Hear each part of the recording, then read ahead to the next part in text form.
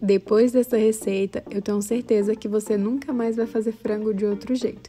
Isso eu posso provar. Esse é um bife de frango onde ele é recheado com presunto e queijo e vai cair bem a qualquer hora que você deseja fazer, seja no almoço ou no jantar.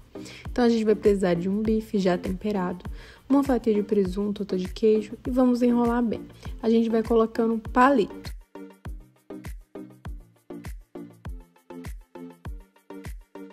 Finalizando os bifes, né, onde a gente está terminando de colocar o palito, a gente vai para o processo de empanar.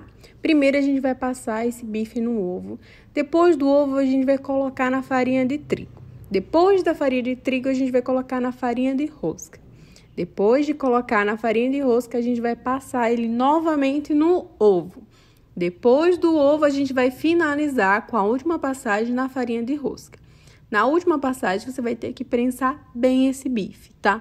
Para ele pegar bem a farinha de rosca, que esse é o segredo para ele não ficar encharcado, para ele ficar bem sequinho. Então, você vai prensar bem.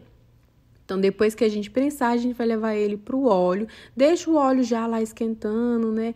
Para ficar bem quente, porque o óleo tem que estar tá bem quente. Então, aí finalizei meus dois bifes, tá?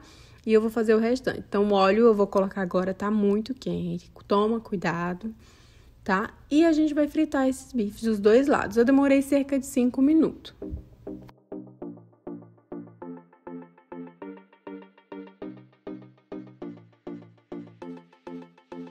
Agora tá saindo meus bifinhos, então não se esquece de inscrever no canal, tá? A gente vai ter vídeo toda quarta e todo sábado. Não esquece de curtir nem de comentar, isso me ajuda muito. Eu agradeço, peço que Deus abençoe cada um que fizer isso.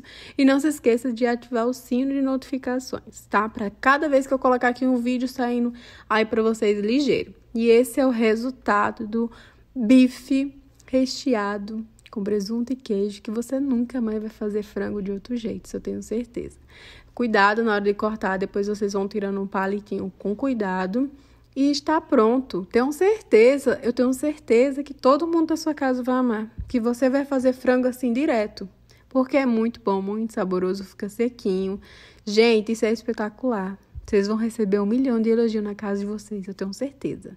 Olha só, essa hora que é, que é perfeito, né? Aí a maionese pronta, tá? Eu não fiz caseira, também sei fazer. Depois vou trazer essa receita.